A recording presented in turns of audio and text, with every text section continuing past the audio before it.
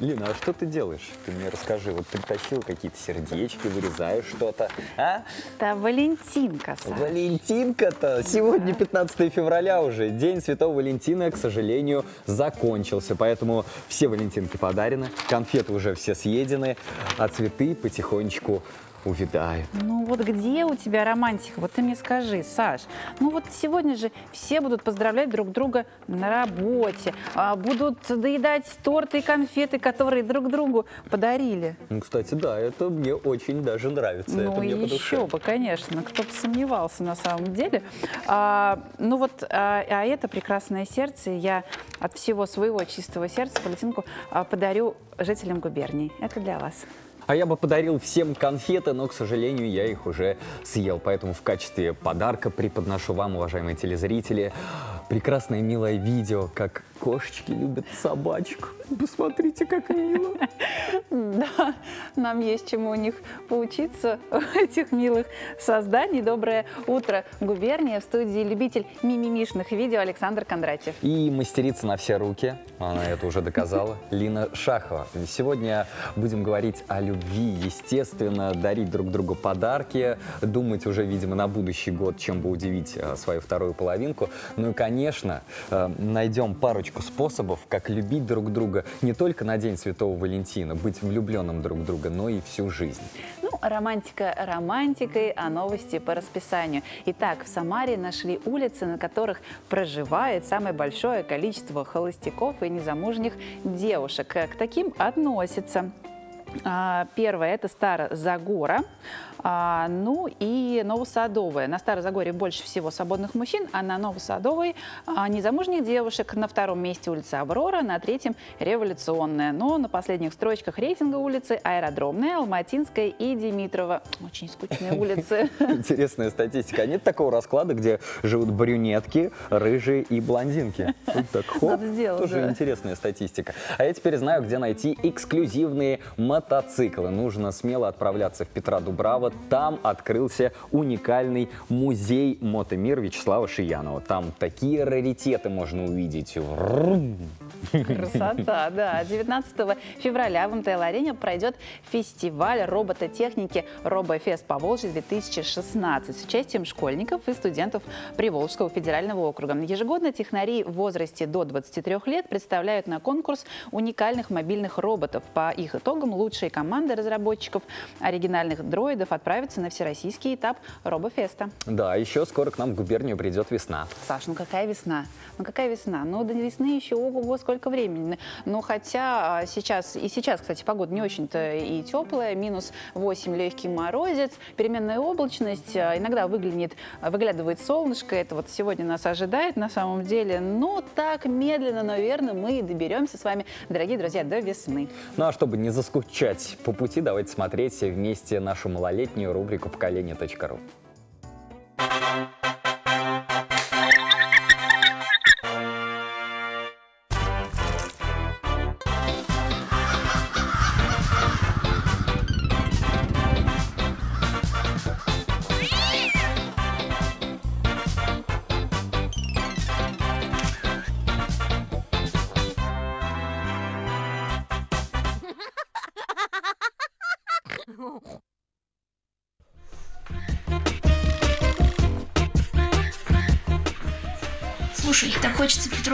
пригласить. Это бесполезно. Петрова с таким балбесом, как ты, в кино не ходит. Не ходит? Ну смотри. Привет, девчонки. Петрова, пойдешь со мной в кино? Вообще-то я не собираюсь. Битва при Ватерлоо произошла 15 июня 1815 года. Верно, но... Глаголы во втором лице единственного числа в окончании имеют мягкий знак. А, А произведение бесконечно малой последовательности на ограниченное бесконечно мало. Ну что, пойдешь со мной в кино? Я позвоню. Ну что, видал? ага. Слушай, Коля, может, это... Чё это? Может, сядешь со мной на контрольный по геометрии?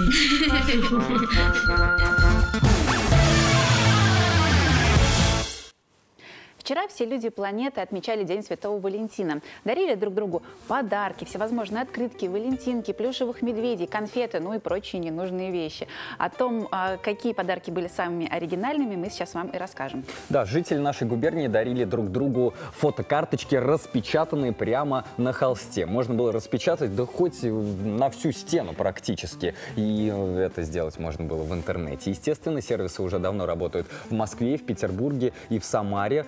Организаторы этого сервиса и, собственно, создатели этих портретов уверяют, что Ваша фотография качественно распечатается без искажения цветов и оформят даже в рамку из натурального дерева. Совсем обезумевшим от любви предлагали даже распечатать фотографии, ну вот прям в стену целой комнаты. Представляешь? Так просыпаешься Классно. и смотришь на свои лица. Просто Очень прекрасно. романтично на самом деле. А вот еще один оригинальный и современный вид подарка а, – это карманный фотопринтер. Да, конечно, в телефоне фотографии можно хранить до пенсии, но на стену их не повесишь, в сердце не спрячешь, ну и в кошелек, ну это вместо кольца на пальце тоже не засунешь. Поэтому карманные принтеры все еще популярны. С их помощью можно в режиме реального времени распечатать любимые снимки, ну, селфи и прочие милости. Вот на День Валентина такие подарки тоже достаточно а, популярны среди жителей нашей губернии в том числе. Пиньята. Что? Ну, пиньята. Что ну, же, Лин, это такая детская забава, когда вот такой, я не знаю, шар из папье-маше вешают в- на дерево в саду, да, детишкам завязывают глаза, раскручивают его, дают в руки биту, и он должен разбить вот эту штуковину, чтобы оттуда что-нибудь посыпалось. Ага, ну теперь я поняла. Это такая коробка, тебе дают, ну, как бы, как, ты- как ты сказал, биту, да, разоби- разбить, видимо, Или в форме... кувалду, Или кувалду, да, это, видимо, на День Валентина в виде сердца, да, они делали такие симпатичные штучки. А вот еще, кстати, один достаточно оригинальный способ поздравить а, друг друга с, а, с Днем Святого Валентина, это устроить свидание где-нибудь там, ну, на крыше или в других оригинальных местах. Ну, или а, люди создают друг, друг для друга целые квесты. А, любимому человеку надо найти пазлы, которые а, половинка его спрятала где-нибудь, и в итоге получается целое сердце, ну или какая-нибудь надпись такая, типа «Я тебя люблю», например. А мне больше всего нравятся простые движения. Я дарю их всем влюбленным и даже тем, кого никто не любит. Пусть порадуются.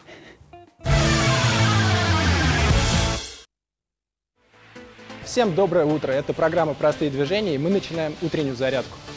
А, Первые упражнения будут выпады по сторонам. Начинаем с правой ноги. Делаем выпад правой ногой вперед, в сторону, назад. То же самое левой ногой. Вперед, в сторону, назад. Повторяем.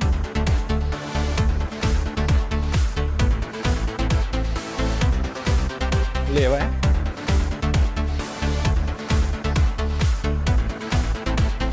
И еще раз. Правая. Левая.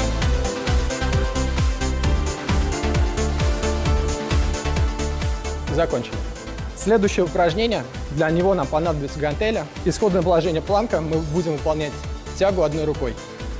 Принимаем исходное положение. Ноги можно поставить пошире для устойчивости. Выполняем тягу. Сначала правый, потом левый.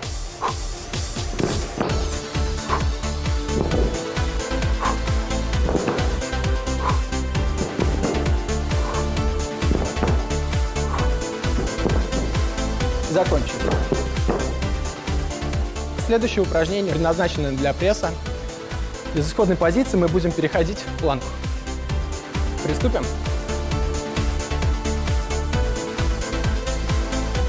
И возвращаемся в исходную позицию стойки.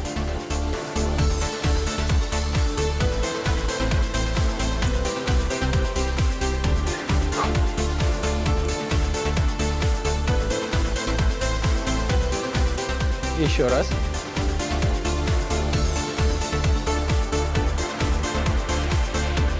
Мы закончили нашу утреннюю зарядку. Всем хорошего дня. Пока.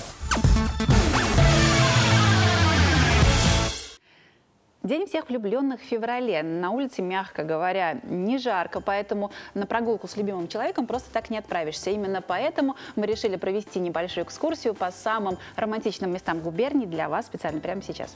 Самая обычная, ничем не примечательная, разве что своим названием речка Сок так и притягивает магнитом всех влюбленных. Через речку перекинут мост, где молодожены и влюбленные, дабы скрепить свой союз, навеки вешают на перила замочки со своими именами, а ключ бросают в воду, чтобы союз был надежным и нерушимым. Этот ритуал лучше всякого штампа в паспорте гарантирует пламенные чувства и вечную любовь. Поэтому место это так и назвали «Мост любви». А вот самое романтическое место нашей губернии в Самаре – это, конечно же, набережные. Витые прекрасные а, кованые лавочки и фонари. Все так и манит тебя и говорит, не торопись, остановись. А, так вот, на самом прекрасном этом месте а, на набережной расположена лавочка, на которой а, очень замечательно можно посидеть, и называется она «Лавка любви». А, сделана таким образом, что даже если вы, там, например, поссорились или просто решили сесть по разные ее стороны, то все равно скатитесь друг к дружечке. Вот такая лавка любви прекрасно. Серенаду можно петь. Да, например. Также у нас а, в Самаре есть романтическая остановка, которая так и называется «Сердце города». Расположена она на пересечении улиц Московского шоссе и улицы Киевской. Место там, прямо скажем, не очень романтичное. Машин много, шумно, пыльно, зато сама композиция очень выразительная. С таким сердцем на любой улице праздник. А на нашей улице тоже праздник нам пришел. Календарь губернии. А самая романтичная рубрика прямо сейчас.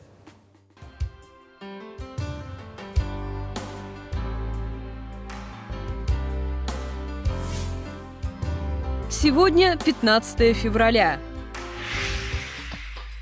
110 лет назад, 15 февраля 1906 года, газета «Голос Самары» напечатала статью под названием «Самарские картинки». Именно благодаря ей мы можем узнать о нравах тогдашних городских окраин. Автор публикации, некий временный филитонист, назвал эти районы колыбелью хулиганов и сравнил быт жителей с повседневностью древних славян. Окраинцы встают с петухами и ложатся спать после полуночи. Их жилища просты и не отличаются архитектурными украшениями. Жен и детей окраинцы держат в полном небрежении. Одежда и домашняя утварь незатейливы, мужчины обладают широкими спинами и сильными мускулами, благодаря чему очень воинственны и все свободное время проводят в междоусобицах. Для своих похождений они избирают предводителя – князя. Он руководит всеми ночными похождениями. Окраинцы от природы одарены язвительным юмором, любят меткие слова и крепкие выражения, поведал автор.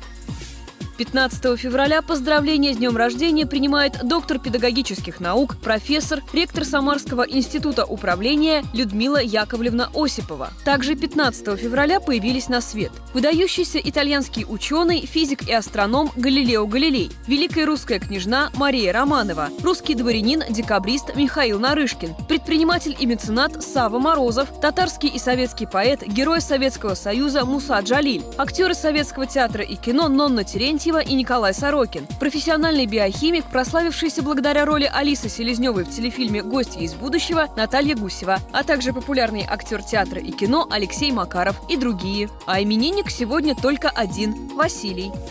15 февраля православные отмечают Великое Сретение Господне. По народному календарю в этот день зима с весной встречаются. Под стать дню рождались и поговорки. Например, говорили «Сретенье, зима с летом встретились», «Солнце на лето, зима на мороз». В народе давно считалось, что на праздник Сретения ударяют последние морозы. Их так и называли – Сретенскими. Не меньше было и примет на погоду. Считалось, что если метет снег, будет поздняя весна. На это же указывало небо с множеством белых звезд. По погоде на Сретене судили о будущем урожае трав. Бросали поперек дороги палку и наблюдали. Если снег заметет ее, то травы будет мало. А вот если в этот день тихо и солнечно, то уродится лен. Капель предвещала хороший урожай пшеницы, а ветер – плодородие фруктовых деревьев. Это были лишь некоторые знаменательные события 15 дня последнего календарного месяца зимы. Всего вам самого наилучшего! Уважаемые друзья, напоминаем, что вы можете стать участником нашей программы. Все очень просто. Отправлять свои фото и видео к нам в группу ВКонтакте, которая так и называется «Утро губерния». Мы ждем. Ну а сегодня к нам, к нам яркие кадры попало свежее видео со строительства чемпиона, а, а, стадиона чемпионату мира 2018. Работа по строительству уже выполнена на 40%. Планируется, что через месяц начнется монтаж купола, а сборка его будет вестись в течение всего года. А, Вот так масштабно и красиво все получается. А с высоты- птичьего полета особенно интересно за этим всем наблюдать.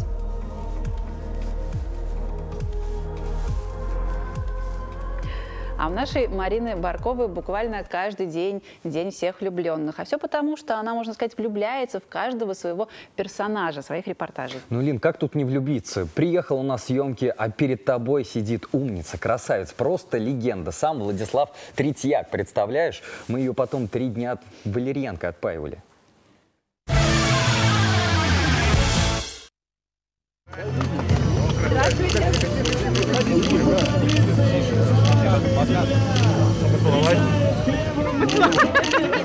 Первым делом хлеб-соль и гостеприимные девушки, а хоккей потом. И все же именно ради хоккея он прибыл в Усть-Кинельский. Легендарный вратарь Владислав Третьяк стал почетным гостем Кубка легенд среди сельских команд.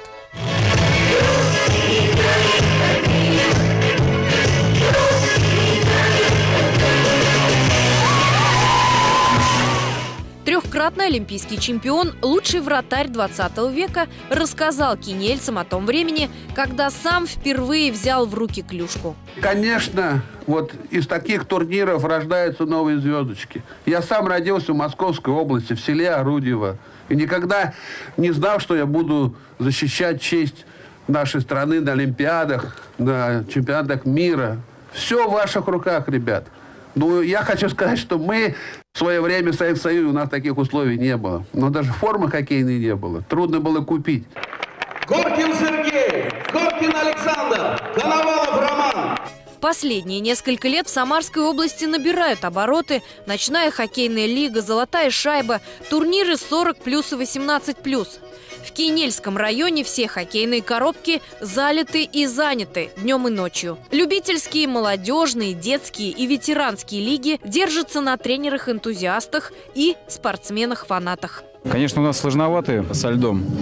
А, Команду приходилось тренировать а, один год вообще без льда. Грубо говоря, сухие тренировки и маленькие площадочки. Но парни растут, парни схватывают. В принципе, я ими полностью доволен, хорошие ребята. Тем более я по образованию просто художник даже. Я художник, дизайнер, декоратор. И... А ребята, это мое увлечение. Чисто такое. Хочется поднять все-таки в нашем городе хоккей. И, э, Хочется, чтобы пацаны не пропадали. Только из-за этого. Чисто энтузиазмом занимаемся. Вышедшие на лед сельские хоккеисты понимали, что в случае победы сбудется их заветная мечта. Награды им лично вручит легенда советского спорта. Любительский турнир в поселке Усть-Кинельском проходит в четвертый раз. В этом году в финал попали четыре команды. Кинель-Агро, Спортград из Отрадного, Сергиевск и Монолит из села Майское. На соседнем поле маленькие звездочки по числу забитых шайб не уступали взрослым. Итак, опасный момент, выход один на один. Марина Баркова, Дарья Болгова, Алексей Вельмискин. Программа «Утро губернии» из Кинельского района. А у нас в гостях руководители танцевальной школы Мария Рудакова и Павел Бекер. Доброе утро. Маш, Паша, привет. Ну, конечно, празднуем сегодня День Святого Валентина, уже постфактум. И нам очень интересно услышать вашу романтическую историю вашего знакомства. Как вы встретились? Ну, встретились мы на занятиях танцами. Ну да, мы такой истории не ожидали.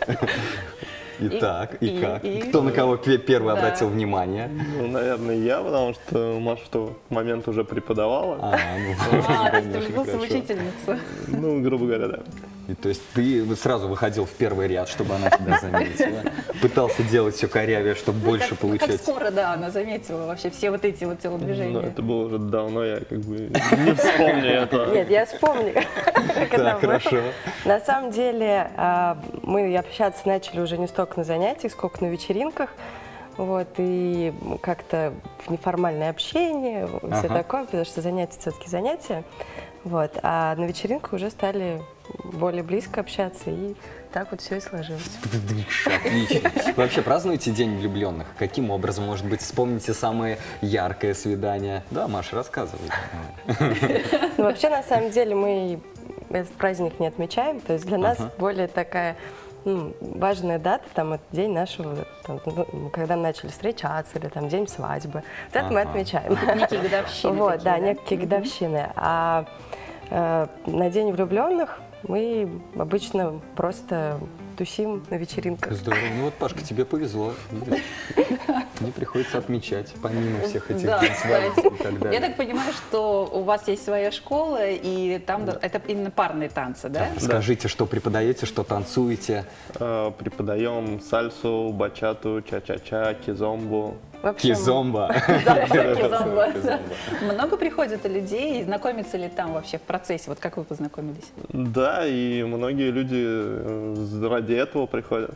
Ну, то есть там есть люди, знакомств, да, люди школа которые ц- целенаправленно приходят ради этого. Вот. Но, конечно, мы как бы такой цели перед собой не ставим, чтобы люди у нас просто знакомились и все, и до свидания. Но тем не менее, пары уже есть какие-то, которые образовались именно вот в вашей школе? Да. Много таких? Есть, да, семейные пары, у которых уже детки родились. В общем, они уже сейчас, эти малыши подрастают. Они приходят в вашу школу и Они пока их отдают да? бабушкам, дедушкам, а сами на вечеринке.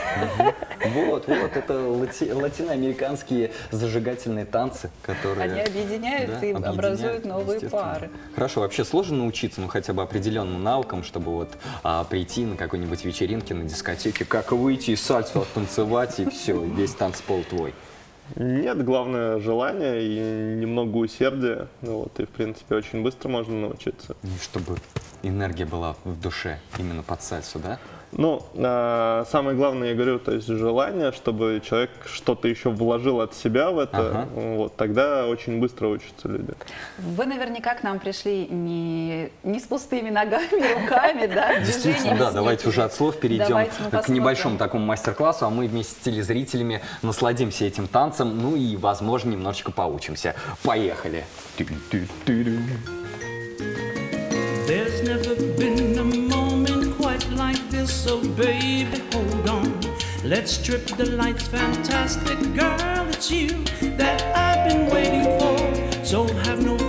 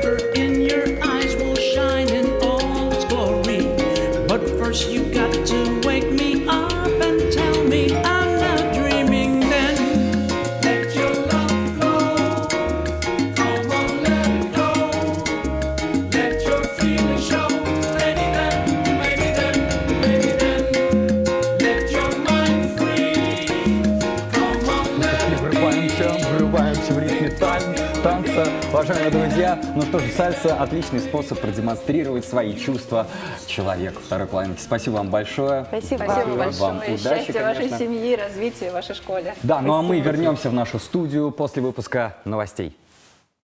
Доброе утро, губерния. В студии вновь Лина Шахова. Александр Кондратьев. А, да, вчера отгремел э, День Святого Валентина. Все подарки, мимимишки, конфеты дошли до адресатов. Но неужели только раз в году люди говорят друг другу о любви? Ну неужели они вот только этот день э, способствует тому, чтобы люди об этом говорили и признавались? Вот как сохранить то самое чувство, как пронести его через всю жизнь, давайте сейчас разберемся. Итак, вот вам первый совет. Вы должны быть друг для друга, ну, самыми лучшими. Если вы знаете, что ва- ваш муж по утрам всегда ворчит, пока не выпьет чашечку кофе, ну, так пойдите ему навстречу. Сделайте сразу, как только он проснулся, чашечку кофе и увидите, что он, как малыш-енот из мультфильма, улыбнется вам в ответ. Ну, а если ваша супруга любит поспать утром подольше, ну, в этом же нет ничего плохого. Посмотрите, какая она миленькая, ну, О, просто мимими. Конечно, если не до двух часов дня она спит, тут уже проблемы начнутся. Да? Серьезно. Да. Ну ладно, семейная жизнь невозможна как раз вот без всяких испытаний, но некоторые испытания только укрепляют любовь, а некоторые ее разрушают. А тут важно помнить, что пройти через все невзгоды, не упрекая близкого человека, задачка не из легких. Когда семья попадает в тяжелый кризис, обвинить в этом партнера, ну, проще всего. Вы, конечно, при этом испытаете облегчение, но оно обманчиво, а последствия могут быть разрушительными. Наверняка вы понимаете это, поэтому лучше всего направить свои эмоции на вашего общего врага. И такое взаимодействие только укрепит вашу семью и взаимопонимание. Третий секрет очень прост. Позаботьтесь друг о друге. Ну, сами понимаете, семейная жизнь состоит из мелочей, которые на первый взгляд незаметны. Сделайте сюрприз э, друг для друга. Например, я не знаю, подарите книгу любимого автора, приготовьте любимый напиток, а лучше блюдо, конечно, от которого ваша вторая половинка будет счастлива. Ух! Еще один секрет. а, Ну вот, знаешь, бывает ремонт, рестайлинг, а, ну мелкий какой-то косметический, там, перестановки или еще что-то. Ну как угодно можете это назвать, но все это испытание для ваших чувств. А, Вот, например, он хочет обустроить квартиру в духе минимализма, она мечтает о комодике в стиле рококо. Ну, выясните ваше предпочтение и распределите зоны влияния, так называемые. Знаете, что эклектика нынче в моде, и как удивительно каждый раз находить новый уголок в вашей квартире, это добавит как раз-таки романтичности ваших отношениях. Да, прекрасно. Также не забывайте, конечно, о романтических свиданиях не только на День Святого Валентина. Подойдет ну, и набережная, прогулка по набережной, поход в театр, в кино. Самое главное, чтобы было место, где а, ваша вторая половинка могла выгулить свое нарядное платье, а вы продемонстрировать истинные замашки джентльмена. А, Это прекрасно, не забывайте об этом. Еще очень важно, скажем так, не привыкать друг к другу. Согласитесь, а, в наших буднях мы перестаем замечать те самые важные моменты, которые раньше приводили нас в восторг. То есть а, какие-то комплименты. Обратите внимание, как он играет, может быть, мускулами там на кухне, не знаю, или как прекрасно она готовит борщ. Все это важно. И а, что самое главное, не забывайте об этом говорить. Ну и не, не скупитесь вы на комплименты. Это же такая важная составляющая часть нашей жизни. Я вот хочу сказать комплимент нашему репортеру Татьяне Пециной. Такие замечательные сюжеты она снимает, ну просто спать не могу. Высок, силен, грамотен и религиозен. Этим критериям должен был соответствовать рядовой солдат пехотной бригады номер один царской армии. Перед лучшими из лучших стояла особая задача – выполнить союзнический долг. В августе 1914 года убийство эрцгерцога Франсуа Фердинанда спровоцировало Первую мировую войну. Ощутив серьезные людские потери, правительство Франции обратилось к царю Николаю II за помощью. Русское подкрепление было последней надеждой на победу. Почему стала острая проблема в такой именно интернациональной помощи России Франции? Э, В Первой мировой войне э, французские части понесли э, очень большие потери. И поэтому нехватка солдат могла сказаться на то, что судьба Франции будет решена. И поэтому именно было принято решение перебросить 50 тысяч русских солдат на французский фронт, то есть и они влились именно во французскую армию. Особая пехотная бригада состояла из двух полков. Один формировался в Москве, другой – в Самаре. Несколько месяцев рядовые посвятили строевой подготовке и оружейному делу, а уже в феврале промаршировали к железнодорожному вокзалу, чтобы отбыть к новому месту службы.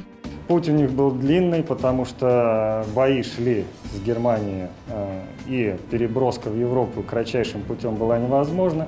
Поэтому эшелоны поехали в сторону Дальнего Востока, оттуда на кораблях французского флота были переправлены э, в Марсель. Контрнаступление немецких дивизий было отбито. Самоотверженный подвиг русских солдат помнит до сих пор. Эти черно-белые фотографии хранятся в архивах Министерства обороны Франции. На всеобщее обозрение представлены впервые в связи со столетием со дня образования пехотной бригады номер один. Раритетные кадры позволяют проследить путь героев во всех деталях и в условиях боевых действий, и в минуты передышки. В мирное время э, там в экспозиции даже видно, как солдаты отдыхали, то есть устраивали пляски, были гармошки. Вот, с, э, когда второй полк уходил, на каждую роту была выдана гармонь. Вот, в том числе и э, как бы популяризировали в то время балалайки, то есть выдавались прям солдатам, уходившим на фронт, балалайки. В стеклянной витрине отголоски Первой мировой, которые были обнаружены спустя десятилетия после окончания войны. Компас, штык-нож из частных собраний самарских коллекционеров. Например, у нас вот в Самаре была найдена это, так скажем, ну, ветеранский сувенирной продукции, это французский танк. Это вот ветеранам Первой мировой войны вот давали такую сувенирную продукцию. Но, сами понимаете, как мог французский танк 16 года попасть в Самару, но это, я считаю, 90% это только один путь. Это кто-то привез и из, из наших солдат, которые воевал во Франции. Второй экспонат, я считаю, это мундир это, немецкого солдата Германской империи. Вот, именно этот полк баварский, он воевал в то, в то время, в том месте во Франции против наших, нашего второго полка. И поэтому вот эти предметы, они перекликаются. Выставка «Солдаты особого назначения» открыта в Доме музея Фрунзе до июля. Экспозицию обещают регулярно пополнять. В истории Первой мировой войны до сих пор немало белых пятен. Татьяна Пецина, Вячеслав Потоцкий. Программа «Утро губернии».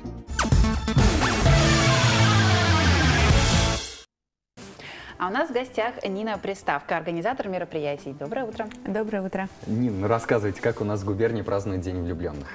А, на самом деле вариантов отпраздновать этот день ярко существует э, огромное количество множества, угу. множество вариантов, но самое распространенное это, конечно же, необычные романтические свидания, которые э, влюбленные устраивают для своих вторых половинок.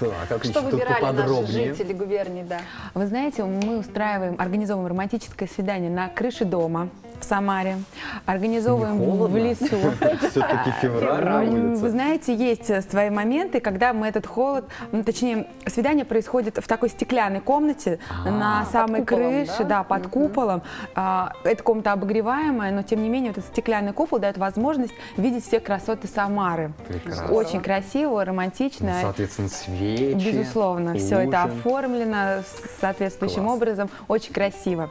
Вот. Второй вариант тоже как а, романтического свидания, такой снежный вариант. В лесу, на лошадях, а дальше стол в лесу, в заснеженном, самовар, а, сушки, Ну, бублики. экстремально На открытом, да, абсолютно на А. открытом воздухе. Конечно же, мы заранее предупреждаем, что бы наши дорогие гости влюбленные одевались потеплее, но тем не менее эмоций у них остается огромное количество, и это намного интереснее, чем ну, банально пойти в ресторан. Конечно, нет, но Намного, это все-таки экстремально. Мне интересно, а какой-то человек, соответственно, приглядывает за молодыми в этот момент. Все-таки лошади, лес, мало ли куда они забредут, замерзнут, нет связи, и романтическое свидание может превратиться просто в катастрофу. Абсолютно а, верно. На самом деле за всем событием следит целая бригада наших сотрудников. И на всю простоту... Из-за дерева, да? Там орел-орел, ягнет. Да, да, да, да, примерно так все и происходит. Запускай белочку. У каждого человека непосредственно свои обязанности, своя ответственность. И кто-то следит за меню, кто-то следит за э, лошадью, кто-то следит непосредственно за оформлением и так далее. То есть визуально кажется, что все это просто. На самом деле, на самом деле а, задействовано очень много людей, которые стараются, чтобы это свидание прошло ну, просто на высшем уровне. И самое главное, оставило правильное впечатление и правильные эмоции для влюбленных. Но так как, да, классно, а так как День Святого Валентина уже прошел, то есть, я думаю, такие свидания можно, в принципе, всегда устраивать, да? Что еще у вас тогда есть вот для влюбленных людей, которые хотят разнообразить свои отношения? А, непосредственно различные прогулки, которые мо- можно совершить на вертолете. То самое, ну это да, это уже, и, конечно же, там А, И так прыгнуть с парашюта. Прыгнуть, вы знаете, Вдвоем. да, и прыгнуть с парашюта вдвоем. То есть все, что дает необычные эмоции, которые в будни, вот в обычные будни мы редко получаем.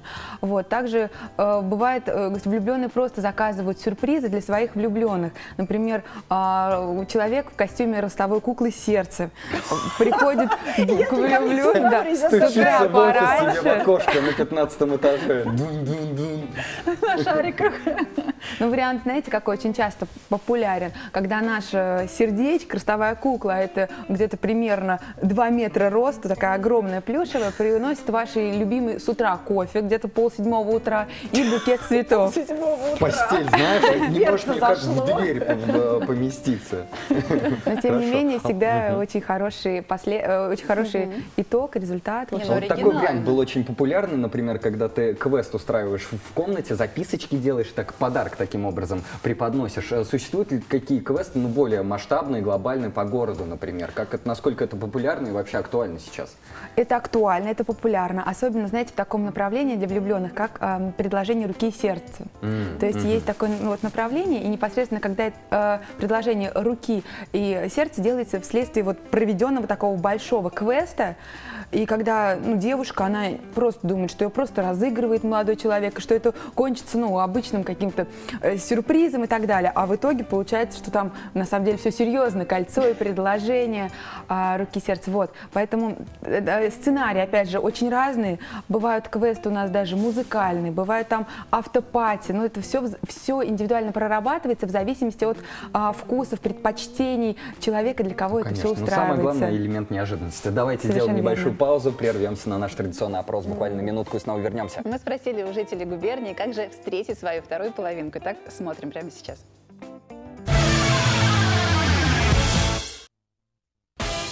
Ну, я уже встретила свою вторую половинку. Я думаю, это просто судьба. Надо ждать время, и вы найдете свою вторую половинку. Случайно. Познакомились в институте, учились вместе. Ой, вы знаете, это больше к молодежи. И это дело случая. Судьба. О, как встретить? Неожиданно. Когда не ждешь, тогда и встретишь. Это вопрос очень интересный. Я считаю, нужно просто-напросто быть коммуникабельным очень человеком и для того, чтобы вот э, вокруг себя иметь массу знакомых всякого разного направления. Вот тогда и найдешь себе вторую половинку. Ну, судьба должна свести. Ну, я вот лично познакомился в интернете со своей второй половинкой. Ну, как-то заобщались, потом просто встретились. Ну и до сих пор вместе уже давно. Ну, у каждого, я думаю, по-своему. А, У меня произошло на работе. Мы встретились с женой в столовой на обеде. Ну, я уже встретил ее. Моя любимая супруга. Ее зовут Ксения.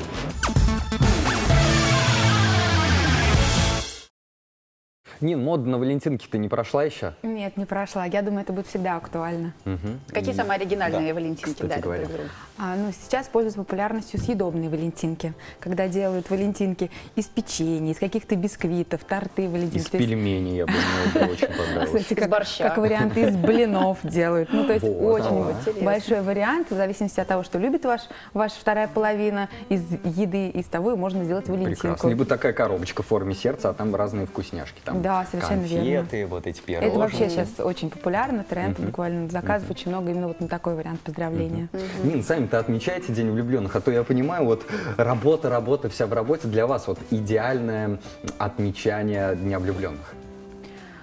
Ну, видимо, э, вот э, там вот эти прогулки в лесу, на набережной вертолеты, насмотрелись на это? Вам что ближе? А, да, посмотрели, но тем не менее мне такой же абсолютно вид и ближе провести этот день оригинально со своим любимым человеком, любимым мужем, вот. И, и главное, чтобы в этот день было хорошо обоим и хорошее настроение, потому что на самом деле даже если нет у человека возможности куда-то выехать, он и дома в уютной атмосфере может создать прекрасную атмосферу Дня влюбленных. Вот, прекрасное окончание нашего разговора. Нина, спасибо вам большое. Вам тоже спасибо. А мы продолжаем. Впереди нас ждет э, романтичная особа Елена Шишкина, которая побывала в пасти акулы, осталась целой и невредимой. Не верите? Смотрите ее сюжет.